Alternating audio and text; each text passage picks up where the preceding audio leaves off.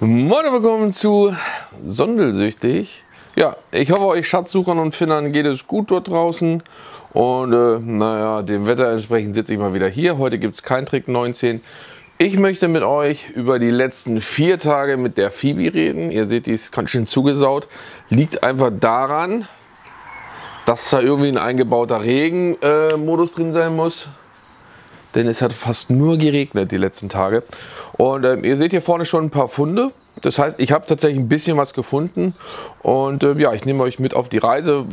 Ja, wie waren die vier Tage? Ähm, ging von der Wassersuche bis äh, ja, Feld im Regen, im Regen, im Regen und einmal in, im Sonnenschein. Und ähm, aber nur so ein paar Grundgedanken, wie bin ich klargekommen. Ähm, verzeiht mir bitte, dass bei einigen Mikrofonaufnahmen, gerade die ersten Filme, ähm, kein ordentlicher Ton bei ist. Es war also irgendwas ist immer schief gegangen. Da war der Akku mal leer, dann war das Mikro zu Hause und was weiß ich. Deswegen halte ich es kurz. Ich halte also nur die wichtigsten Sachen mal drin, wenn ich mal irgendwas Schönes gefunden habe. Schrott habe ich natürlich auch gefunden, den halte ich raus, war wie gesagt vier Tage und dann alles zusammen, dann würdet ihr morgen hier noch sitzen beim Schauen. Das heißt also, vier Tage Phoebe, ja, wie ist er klargekommen? Was hat er gefunden? Schön, dass ihr dabei seid. Wenn ihr schon dabei seid, lasst einen Daumen hoch da, abonniert den Kanal und drückt auch bitte unten die Glocke, denn dann werdet ihr immer informiert, wenn was Neues kommt. Und äh, ja, ich würde sagen, nicht lange schnacken, wir legen los.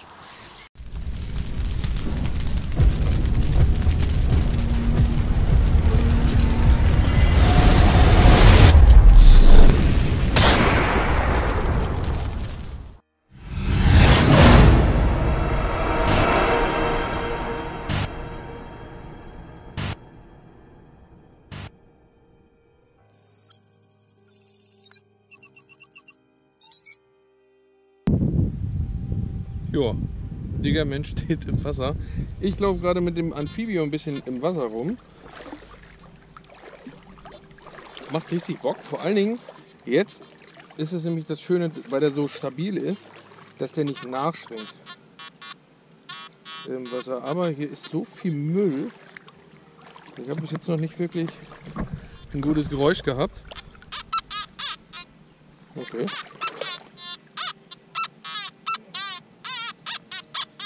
Außer das. Ich habe den so ein bisschen, der vibriert die ganze Zeit. Als wenn man so ein Dildo in der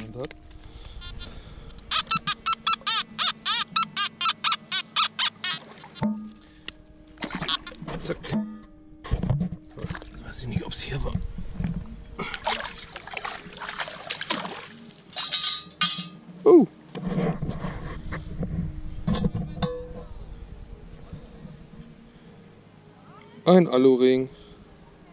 Denke ich mal. Sehr cool. Jo, was ist denn da? Ein Kronkork. Okay, ja dann. Ja, mal gucken, was das schon wieder ist. Das quietscht auf jeden Fall. Mit Eisenton dran.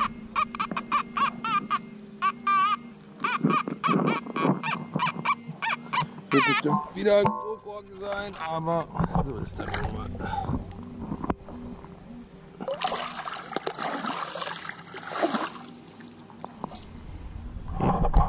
Das Gute ist ja mit wasserdichten Pinpointern.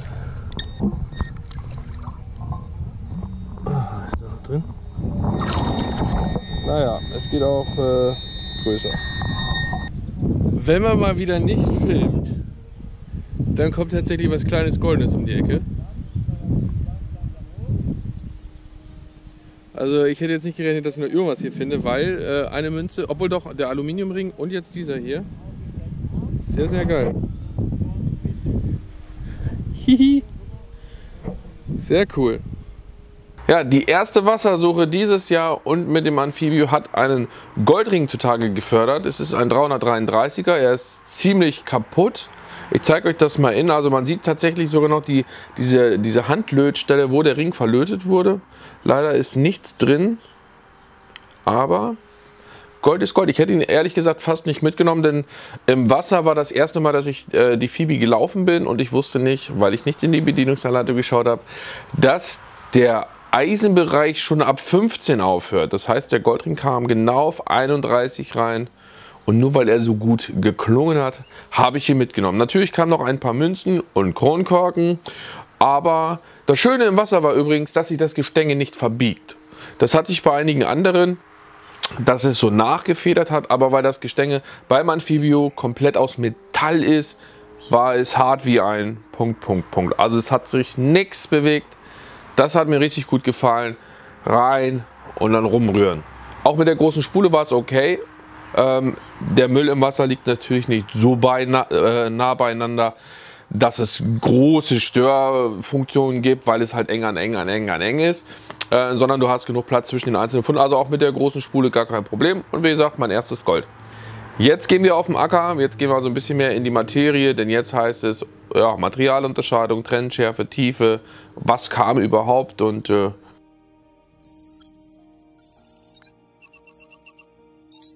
Bevor es natürlich losgeht, müssen wir einmal den Amphibio klar machen. Und beim Ausziehen habe ich gesehen, denkt daran, hier unten ist eine weiße Linie. Das heißt, so könnt ihr das Gestänge nicht zu weit rausziehen. Das muss man ja auch erstmal finden. Und ähm, ich würde sagen, wir starten das Ganze mal, denn ich habe mir noch kein äh, ja, Set abgespeichert. Also wir schalten ihn ein, halten kurz gedrückt. Jetzt sehen wir, dass er hochfährt. Zack. So, wir starten, wie im Tutorial auch gesagt, im Zweiton. Das möchte ich nicht. Ich gehe auf Vierton. Da bin ich nämlich gestern auch gewesen. Jetzt gehe ich über Option einmal auf das Tracking, mache mir das an, weil das hat äh, gestern richtig Spaß gemacht und funktioniert. Das heißt automatischer Bodenabgleich beim Laufen und den Gain nehme ich hoch. Also ich laufe Maschinen ja natürlich immer ein bisschen fizzeliger. Wir versuchen heute mal 85. Also er schnabbelt halt jetzt ein bisschen, aber das macht mir nichts. So, also ich würde sagen, los geht's. Also.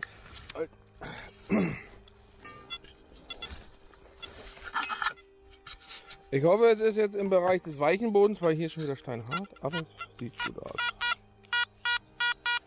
45, 49.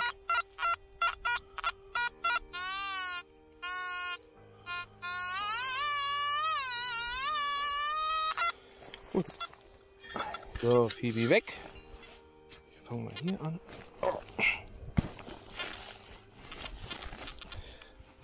Ich musste gerade so lachen, weil die Münze war tatsächlich ungefähr 20 cm äh, neben der Bahn, die ich gestern gelaufen bin.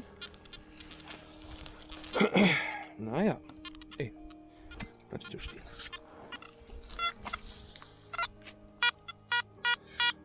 So, 52er, relativ sauber. Jetzt wackelt er nicht mehr hin und her.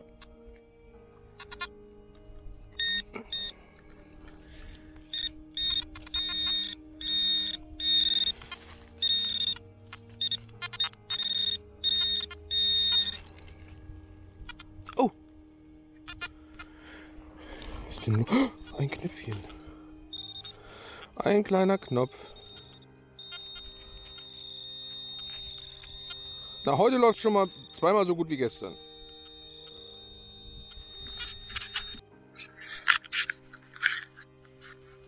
Jetzt kommt tatsächlich noch die Sonne raus. Das ist richtig schön. Ich möchte euch mal zeigen. Ihr hört ja gar nichts, ne? Was ist jetzt gerade los hier? Warum hört ihr kein Geschnabbel? Ich bin jetzt mal auf den 5-Ton-Modus gegangen. Jetzt passt mal auf, wo ich den Gain habe. Auf 97. So. Das heißt, selbst so hoch hört ihr kaum etwas. Ein bisschen Mineralisierung kommt natürlich durch. Man könnte das jetzt Ganze natürlich auf 80 machen, da wäre komplett ruhig. Ähm, wir sehen Bodenabgleich jetzt auf 87, der schwenkt immer so ein bisschen. Also es liegt immer an euch, wie ihr eure Geräte am liebsten lauft. Natürlich habe ich im Vierton ein bisschen mehr Feinfühligkeit, das heißt, ich überlaufe weniger Kleinzeug. Im Fünfton habe ich mehr Ruhe, kann den Gain aber im Verhältnis äh, auch hochdrehen wieder.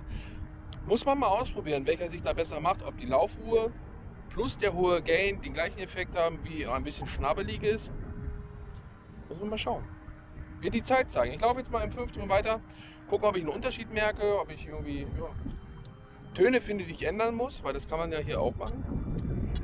Ja. Alles Übungssache. Ich muss auch lernen. Ne, Phoebe? Ich muss auch lernen. Anders geht's nicht. Nur ins Buch gucken und sagen, ah, das geht so. Nee, Erfahrung sammeln. Kilometer laufen, tausende Löcher buddeln, das macht Erfahrung aus. Und dann kann man euch darüber erzählen. Oder man nimmt euch mit. Ah. Toll. Ich habe gerade gedacht, es ist ein Gl Glasbrocken. Uhu, ein Signal. Also ich bin schon ein ganzes Stück jetzt vorwärts. Es kam lange nichts jetzt. Hier ist was. Dürfte nicht allzu tief sein, glaube ich.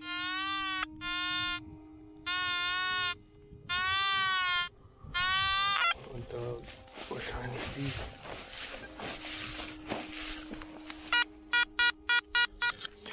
Ja, ich mache die Strohscheiße immer weg, weil die sich um den Spaten klappen kann und dann kommt man da nicht rein und weil der Scheißboden sowieso noch nicht so super ist.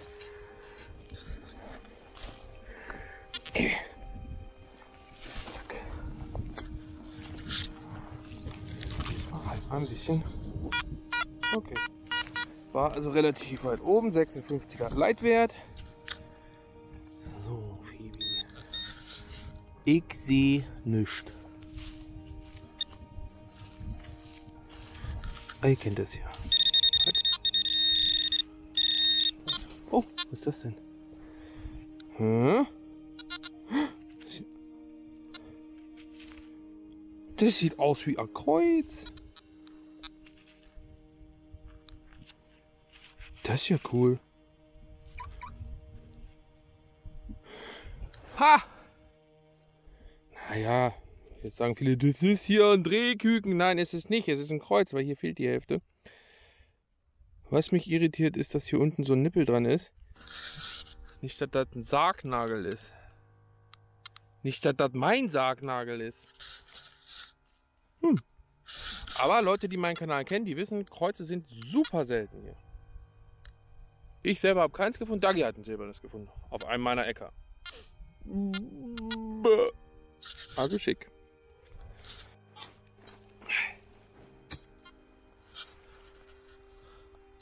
Jetzt stand ich gerade eben kurz vor einem Herzinfarkt. Ähm, ich mache natürlich auch Löcher ohne euch, einfach weil ich ja lernen muss. Also nehme ich auch schrottige Signale mit. Und jetzt habe ich eins gehabt, das war auf 30, was ja relativ gut ist. Und äh, je nach Seite dann bis auf 8 runter. Ich laufe ja komplett offen. Und jetzt guckt euch nur mal die Form an. Nur mal die Form angucken. Ich habe es noch nicht sauber gemacht. An was erinnert euch das? An eine Fibel. Aber ich glaube nicht, dass eine ist. Alter, ich bin gerade fast hier umgefallen.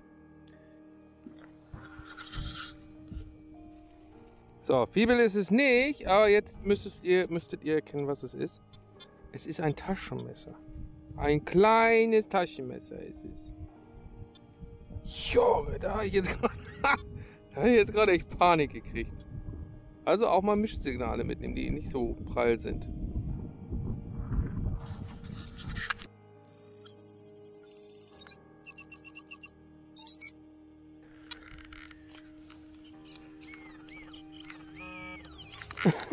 Wieso? Was ist hier los? Und, äh... hm. Oh, eine Doppelblombe. Die finde ich nicht ganz so oft hier. Also vor allen Dingen auch nicht auf diesen Feldern hier. Die sind ein bisschen weiter in der anderen Gegend. Cool. Oh! Jetzt immer ohne Scheiß, ne? Jetzt mal ohne Scheiß. Das ist doch schon wieder eine. Ey, ich komme heute richtig verarscht vor hier. Ja, gehen sie noch kleiner vielleicht. Junge,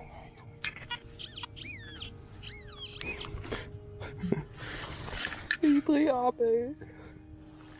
Ich dreh, ich dreh ab. Sah aus wie eine dicke Plombe.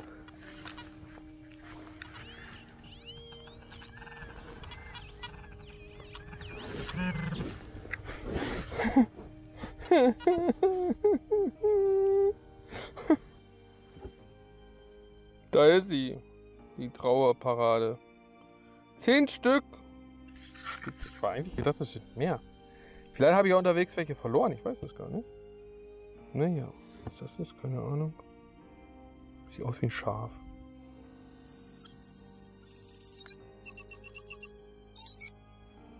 Moin willkommen zu Sondelsüchtig ist sich nicht sicher, ob das heute schlau ist. Denn, vielleicht hört es im Hintergrund, es braut sich ein Gewitter zusammen, aber ich konnte dieser Fläche hier nicht widerstehen. Erneut mit der Phoebe. Ihr habt jetzt noch nicht viel Material gesehen, aber ich bin jetzt seit vier Tagen mit ihr unterwegs. Das heißt, ich gucke jetzt hier nochmal schnell, was hier kommt. Und dann mache ich eine Zusammenfassung zu Hause, haue ich Clips aus den einzelnen Tagen rein. Und äh, so, ich hoffe, das hält noch ein bisschen das Wetter. Schön, dass du dabei bist. Ich würde sagen, nicht lange schnacken. Wir legen los. Um euch einmal zu zeigen, wie ich immer den Bodenabgleich mache, dann, äh, ja, also wir gucken erstmal, dass kein Material da ist, ne? außer der Spaten. Jetzt halten wir den Knopf kurz gedrückt, bis wir den Pieps hören. Und hier steht dann äh, Spulepumpen, Pump Coil. So, jetzt lasse ich das Ganze los. Ich höre immer noch ein kleines Summen. So, jetzt ist es weg. Und wir haben einen Bodenabgleichswert von 56. Und jetzt gehen wir los, bevor es anfängt zu regnen. Ja, die erste Musketenkugel. Es geht schon wieder los mit Blei. Ich hatte es ja gestern erst. 10 Plompen.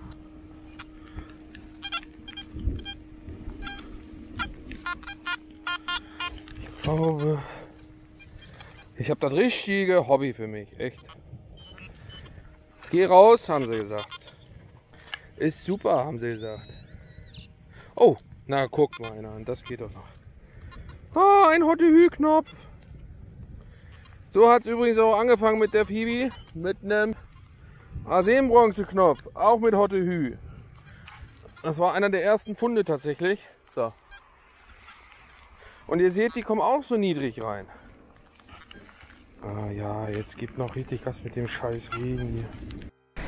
Es war dann doch schlauer nach Hause zu fahren, würde ich mal sagen. Ja, ich wage mich nochmal und äh, wie ihr hier hinten sehen könnt, ist da noch Regen.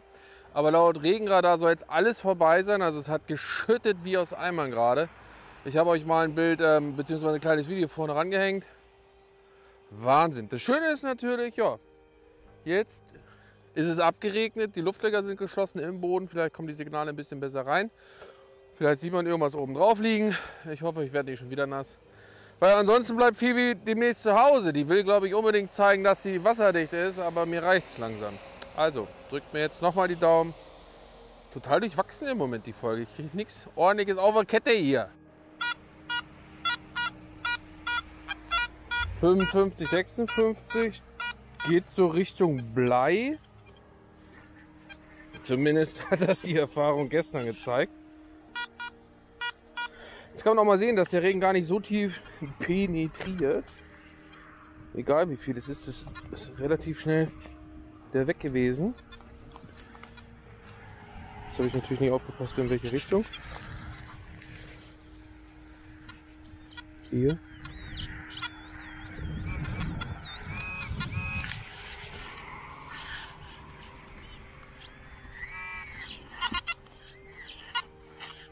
Gut, in der Hand. Musketenkugel. Jo. Eine Musketenkugel. So, höchster Ton heute. 79. 85. Ihr wisst, ich falle da nicht mehr drauf rein. Also es kann jetzt genauso was Feines natürlich sein. Es kann ein etwas größeres Stück Eisen sein, obwohl es sich nicht so angehört hat. Oder, das ist auf jeden Fall schon, ich brauche gar keinen Pinpointer.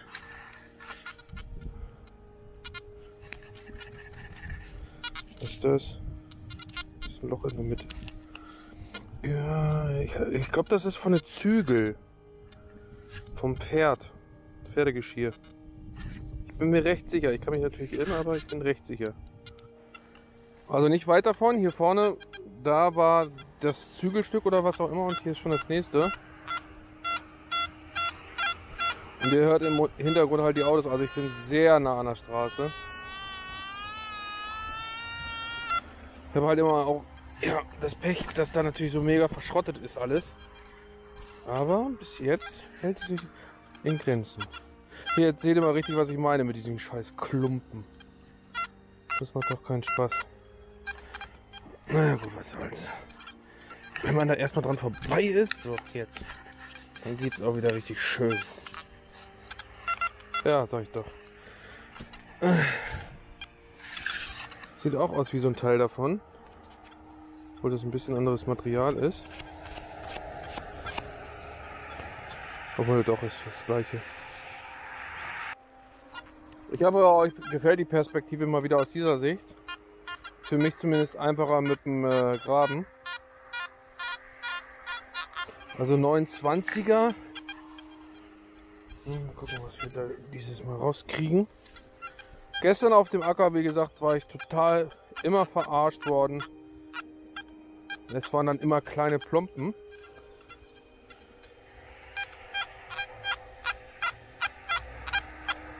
Hm. Könnte ein bisschen tiefer sein.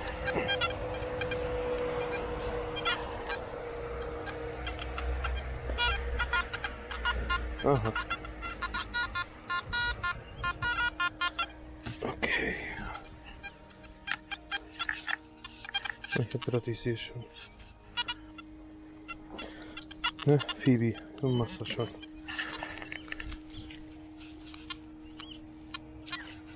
Oh.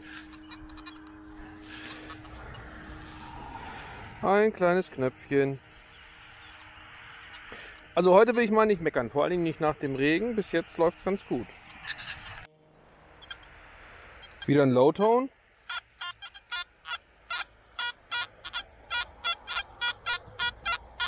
Klingt fast so ein bisschen, als wenn was mit dran ist oder in der Nähe ist.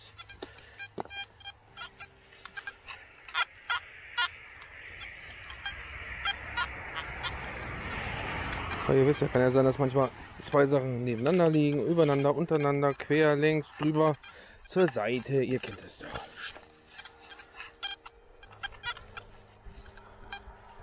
So, habe ich jetzt weggeflackt?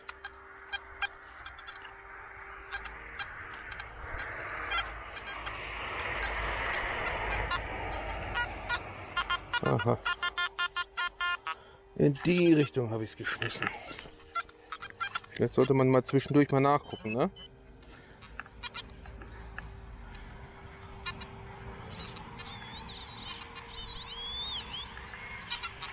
Das?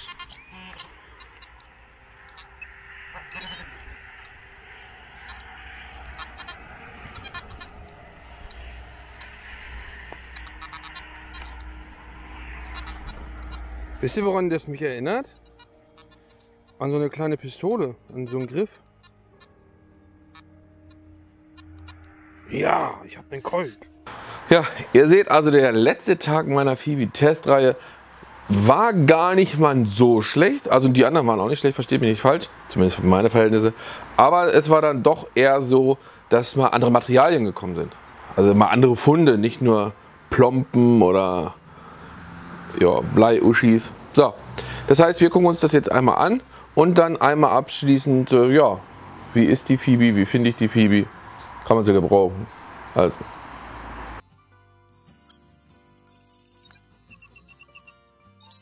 Das ist so meine kleine Bleiarmee aus den letzten Tagen. Also ihr seht hier viele Musketenkugeln, Plompen und äh, ja, Bleistücke vor allen Dingen auch hier vorne. Äh, die Unterlegscheibe war ein Mischsignal zum Beispiel. Ja, einfach lernen, was es ist. Dann haben wir hier hinten das Taschenmesser, was jetzt aus der, außerhalb des Fokus gesprungen ist.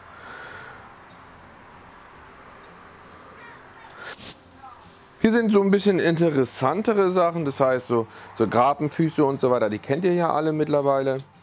Äh, das Stück weiß ich ehrlich gesagt noch nicht, was es ist. Vielleicht habt ihr eine Idee, also das fotografiere ich mal und schicke dem Archäologen. Ja, mein Sargnagel. Wie gesagt, ich hoffe ja nicht, dass es mein eigener ist. Man weiß es ja nicht. Ähm, ja, diese kleinen Minier-Geschosse sind das, glaube ich. Ist auch nicht wirklich viel dran. Äh, was haben wir denn hier vorne noch? Ah ja, natürlich hier meine, meine, kleinen, meine kleinen Lieblingsknöpfe. mit dem Hotte Hü drauf. Ne? Die beiden Asin-Bronzeknöpfe. Dann haben wir hier von gestern, das dürfte ein Revolvergriff sein von der Spielzeugpistole. Dann äh, Kriegsmarineknopf aus dem Garten. Das war auch eine geile Geschichte. Da stand nämlich vorher der Pool drauf. Und mein Lieblingsstück, also zumindest momentan, ist dieses hier. Und es wird gesagt, also es wird wohl eine Riemenzunge sein. Man kann hier so ein Männchen drauf erkennen. Und äh, ja, also ihr seht, ein bisschen was los gewesen hier. Ne? Zumindest auch mal für mich. Ja, also, viele Fragen gemacht. Stefan, wie ist die Phoebe? Ja, was soll ich sagen?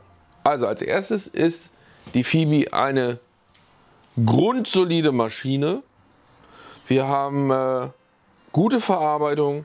Wir haben eine Leistung, äh, die in dem Preisbereich sehr weit vorne ist, meiner Meinung nach. Ähm, gerade was Tiefe angeht, was Kleinteile angeht, man kann die Maschine so einstellen, wie man sie braucht. Das heißt, ich kann äh, den Gain ein bisschen runternehmen, kann sie ruhiger laufen, ich kann sie hebeliger laufen. Die einzelnen Programme sind auch sehr, sehr gut ausgewählt. Das heißt, man kann sich also richtig schön einschießen auf den Bereich, wo man ist. Natürlich habe ich Strand noch nicht ausprobiert im Salzwasser. Das kommt jetzt in zwei Wochen. Dann nehme ich die nämlich mit in Urlaub. Wir fahren an die Nordsee und da kommt sie mit, genauso wie der Pulsdive. Und ähm, auch da werdet ihr natürlich Unterwasservideos sehen. Ähm, ansonsten, wie gesagt, ich bin sehr zufrieden mit der Phoebe. Eine sehr, sehr solide Maschine und spielt da in dem Preisbereich, wo sie ist, auch eine gute Rolle, würde ich mal behaupten wollen. Also es gibt ja einige in dem Bereich, aber für mich persönlich spielt sie eher weiter vorne mit. So, ich hoffe, euch hat das Ganze gefallen. Ich hoffe, ihr habt ein bisschen was gelernt. Wenn ihr Fragen habt, haut sie unten rein. Und ich habe gesehen, alle wollen, dass ich den Deus laufe. Ich wollte jetzt eigentlich erst den, den Deep Tech Vista X nehmen, aber die nächste Runde mache ich mit dem Deus. Das heißt, der dicke Anfängersondler läuft mit dem Deus übers Feld. Wenn ihr euch das unbedingt geben wollt, bitteschön, äh, könnt ihr haben. Das heißt, da kommt der MI6 mit. Und äh, die 28er ist das, glaube ich, die X35. Und dann, ja, wenn ihr das sehen wollt, dann bitteschön, dann nehme ich euch mit. In diesem Sinne, schön, dass ihr eingeschaltet habt und dabei wart. Ich hoffe, wie gesagt, es hat euch gefallen. Mir hat es gefallen, ich habe wieder was gelernt, vor allen Dingen auch über meine Gegend. Wir haben alle mit Blei bezahlt und in diesem Sinne, ja, wir sehen uns das nächste Mal. Kanal abonnieren, Glocke drücken nicht vergessen und äh, ja, immer sonnensüchtig bleiben und allzeit gut Fund.